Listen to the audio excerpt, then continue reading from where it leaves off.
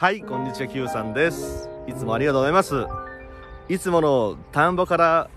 お届けしてやす。というわけでですね久しぶりですね。ここもはいここいつもの場所です。ちょっと今日ねあの曇ってるんでなんか見栄えはあんまり今一つなんだけども。はいいつもの場所でございます、えー、ということで今日はあの3月22日なんですが、えー、ちょっとね今の時期にしてはですね異例なんですよ。そうですね。マスクしてないですね。ね別にこの、コロスケ対策でも何でもなくてですね、花粉対策でいつもしてるわけですよ。というか俺、ずっと花粉なんだよね。二十歳前ぐらいからちょっと花粉で、もう二十数年付き合ってんだけどね。まあ、その年によってひどい時もあれば、そうじゃない時もあるわけね。年々年々ね、マシにはなってきてるんですよね。まあその沖縄とか海外に逃亡するからっていうのもあるんだけども、もうね、ひどい時はですね、もう完全に1週間ぐらいあの、ご飯の味がないとかさ、そんな時もありましたね。鼻詰まりまくって。最近全然ないですね。で、今日なんかね、本来は、もうマスクしてないとさ、外出れないんだよ。で、俺全然ないわけ。これすごくない？ということでですね、すげえ感激してるんですよ、もう。もう何でも来いやって感じですよね。で、これはですね、まあいろんなところ言われてるんですけども、あの花粉と大気汚染っていうのがですね、これ相乗効果で症状を悪化させるっていうのが、まあ、きちんと研究があるんですね。これネットで調べたらそういうのがありました。やっぱそれだなと思ったわけですよ。で今年はですね、何回も言われてる通りまあ、あの例の問題であのいろいろ世界中騒がれてるわけですけどね。でこの間も言ったんですけどもやっぱり大気汚染とコロスケの相性ってめちゃくちゃ悪いらしいんですよね。で俺去年あのイタリア北部のさジェノバっていう港町に行ったんですよね。でそこに入った瞬間ねこの自転車で入ったんですよね。イタリアのそのアルプス越えてそれでその後スイスから入ってきたわけね。リヒテンシュタインオーストラリアオーストリアリヒテンシュタインスイスそしてアルプス越えてイタリアに入ってでさらにその 700m ぐらいのねちょっとした峠越えてジェノバに入ったんですよ。それで入って街中にガーッと降りてく瞬間さもうドロドロなんですよね。これ何やとこれ大気汚染ですよ。いろんなね埃とか粉塵とかで。でその花粉症に近いような感じになってそのもうわここちょっとやばいなと思ってですね。で地中海の方にガーッとニースの方にフランスニースの方にですねまあ抜けていったらまともになったわけですけども。あイタリアってなんか綺麗なイメージあるけどすげえ空気悪いんだなと思ったのがこの体感だったわけですね。だからね空気の悪い大気汚染のところとまあ、花粉もそうですしコロスケもそうなんだけども非常に相性が悪いわけですね、えー、ということでですねやっぱりこれ何回も何回も言ってるもうまたこの話ですかって言われるかもしれないんだけどもやっぱこの地球の浄化のためにねやってきたなんかだなというふうに考えても、まあ、不謹慎承知で言うけどねもうそれあるんだなというふうに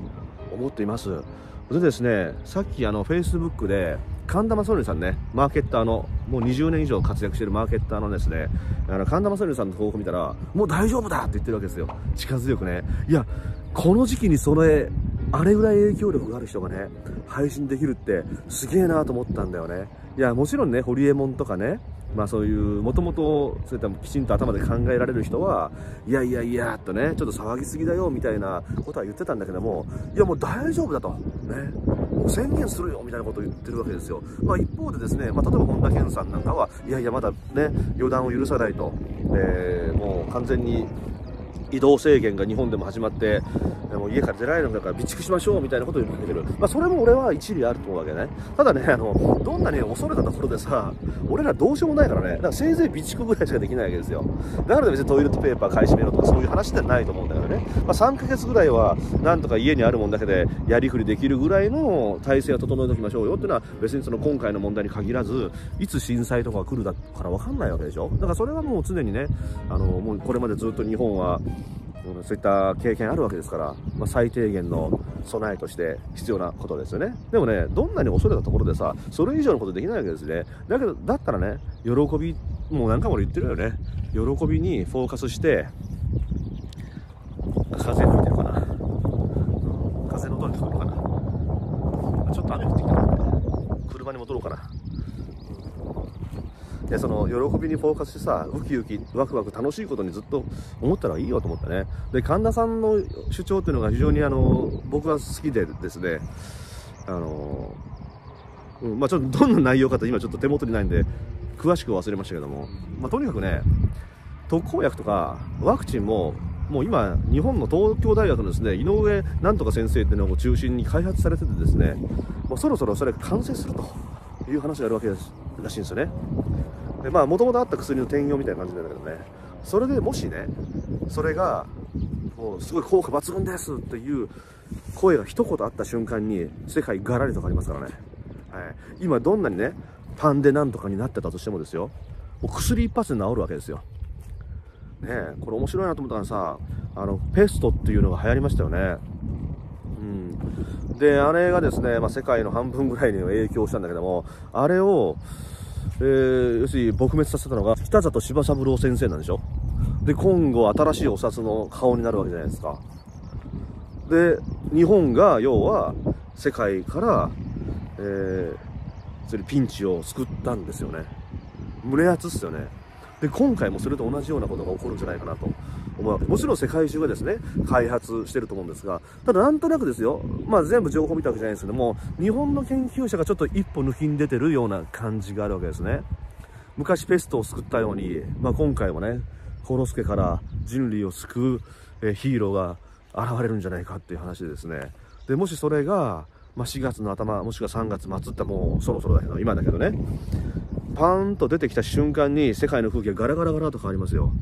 でみんなもうねちょっとワイン飲もうぜとイタリアなんかもさもうガンガン外に出ていくんじゃないかなと思うんですよ、まあ、それがあるかないかだね。だからそのどんなに広がってるなんとかってもですね我々人類はそうやっていつもねいろんなことがあって今ほど医療の発達しない時なんですよ。北里柴三郎先生みたいにやっぱり命を張って研究してねで世界を救ってるわけですよ。で今はねグローバリゼーションでネットとかでですよ情報もかなりクリーンというか何ていうかなそのオープンだしさ。で何よりもこれまでの医学的蓄積がある段階でしょ。それでいろんなウイルス対策もこれまで克服してきたわけですよ。もう材料揃いまくってるわけなんだよ。だから良くなるに決まってんだよこれね。で今ちょっとまだね世界的な鎖国状態になってるかもしれないけどもう心配ないよねこれね。うん。まあ、もちろん備蓄しましょうね、はい、何があってもいいように、備蓄してでマスクはね、まあ、俺ここでマスクするのバカらしいけどさ、まあ、うがい手洗いはしましょうね、はい、できることだけちゃんとすればいいわけです。でそれ以上に恐れる必要ないからね。本当。うん。でもう一つね胸熱なニュースがあってさあのアメリカの大統領トランプさんがキム・ジョンウンさんに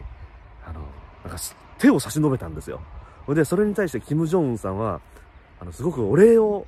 言ってるっていう話なんですよね。これ胸熱じゃないですか。最近までミサイル飛ばそうとしてたやつですよ。ね飛ばしてたのか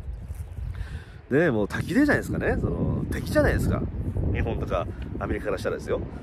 でそれがトランプさんがね、率先して、いや、北朝鮮も大変だろうということで、協力するってわけですね。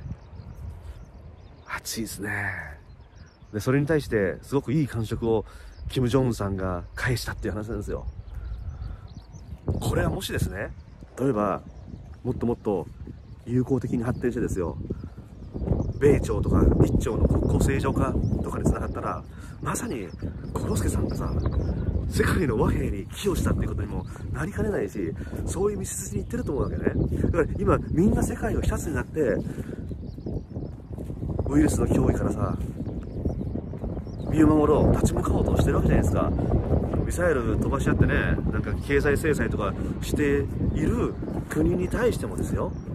みんな協力して目的はみんな一つなんだって。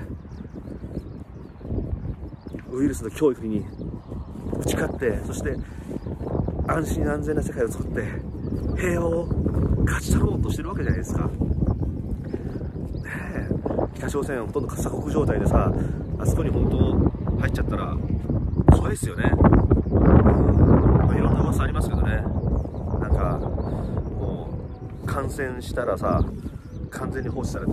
である人がもう抗議的に焼身自殺したみたいなニュースもちょっとありましたけどね。だから北朝鮮みたいなところでさ広がったら結構やばいんだよね。医療体制もちゃんとしてないだろうから。でもそれに対してね手を差し伸べて。いいっすね。いいっすねって話だけど。ね世の中はねいい方向に進んでるんじゃないかなと思う。であの過度なグローバリゼーション。要は例えばさ人件費が安いからといって中国の内陸の安いところに工場建てたりしたわけでしょ。みんな。それってさ企業の横暴でしかないわけなんだよ。実際ね自分たちが儲けたいから中国に工場を建てて。そしたらもちろんね中国のその土地は雇用が生まれたりねまあ、要はその需要が喚起されたりして喜ぶかもしれないけども、まあ、それと引き換えに今回の大気汚染を、ね、あの引き起こしたりしたわけじゃないですか。で一方でじゃあ日本はどうなのかって言ったら雇用を中国に取られちゃうわけでしょ。なんかおかしくない？って思うわけですよ。実際の話ね。そういうなんかおかしいなと思うのが今是正されていって今ネットでですね全部グローバリゼーションというのは情報ではかなりオープンになってると。その一方でローカライズね。トランプさんってかなりフォーマツ的な感じで、ね、なんやこいつって最初思われたかもしれないけども。なんかアメリカファーストだって。別にアメリカファーストっていうよりも自分たちを自分たち守ろうよみたいな、えー、そういった一国主義っていうのがあの別に右翼とかさ保守とか偏った意見ではなくてねうん、やっぱりそのそれぞれの個性とか地域と特性をきちんと見た上でですよ。で自分たちにとって過ごしやすい環境を作っていくっていうのは大切だと思うわけね。何でもグローバリゼーションでみんな一つなんだって言ったらさ最終的にもう安いところに工場建ててで関税なんかもねそれ良し悪しあるかもしれないけどもやっぱりもう強い製品ばっかりが勝つっていうのはこれはどうかなと思ったりするわけですよ。いや資本主義なんだから仕方がないって言うかもしれないけどもさ。でも資本主義によって貧富の差がガーッと広がっていわゆる市場の失敗っていうのがあってで最終的に治安が悪化したりするっていうのは良くないわけですよ。でその辺は調整が入る。そのために関税をつけたりですね。それね規制っていうのは適度にする必要があるわけ。だけど今までもうどんどんグローバリゼーションで、えー、税金取っ払っていってさ。えー、ねだって是正だ是正だって言ってなんだっけ TTP だとか。まあ、言ってたわけでしょ。でそういうなんか動きが今すごくストップかけられてるっていうのが今の流れだよね。もう実際鎖国してるわけだしもう完全に鎖国でしょ今。すごいよね。この前代未聞だよね。そういうところに来てるわけですよ。でももうすぐだからね。ほんともうすぐだと思う。心配ありませんので。というわけで、まあ、いつもの同じような話になりましたけども、えー、今日はですね、あの、いつもと、いつもの田んぼからお届けしました。どうもありがとうございました。